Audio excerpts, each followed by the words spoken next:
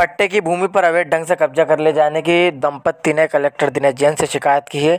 ग्राम तिंगजपुर में रहने वाला गंगाराम अपनी पत्नी को लेकर समाजसेवी राधेश्याम मालवी के साथ सोमवार को कलेक्टर कार्यालय पहुँचा और यहाँ शिकायत आवेदन देकर बताया कि ग्राम तिंगजपुर में उसे पट्टे की भूमि दी गई थी, जहाँ पर वो झोपड़ी बनाकर अपने परिवार के साथ रह रहा था।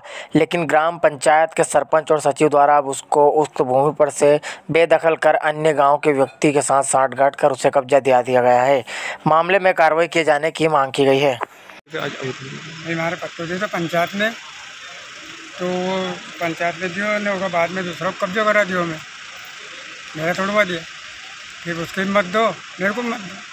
आधे करे तो कुछ भी नहीं कर रही कोई भी। आप यहाँ शाजापुर भी दे दिया, गुलाना भी दे दिया, फिर चले सब दूर चलिए अभी तो कुछ भी नहीं बोले। डॉक्टर साहब ने किए क्या करेंगे?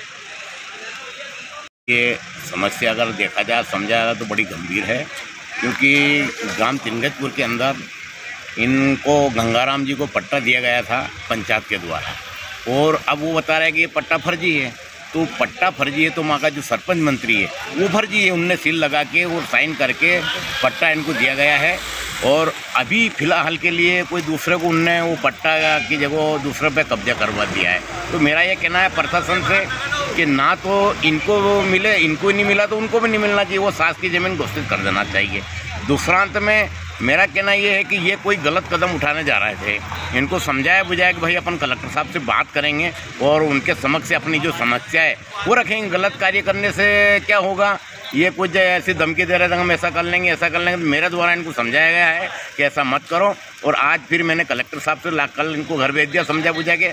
आज फिर मैं कलेक्टर साहब के पास में इनको ले गया है। उनसे बात करवाई दी है। कलेक्टर साहब ने आश्वासन दिया है कि हम इसकी जाँच कराएँगे तहसीलदार का द्वारा। उनका नहीं होगा तो तुम्हारा भी नहीं होगा तो उनका भी नहीं होगा। ये हमारे को आज आश्वासन मिला है।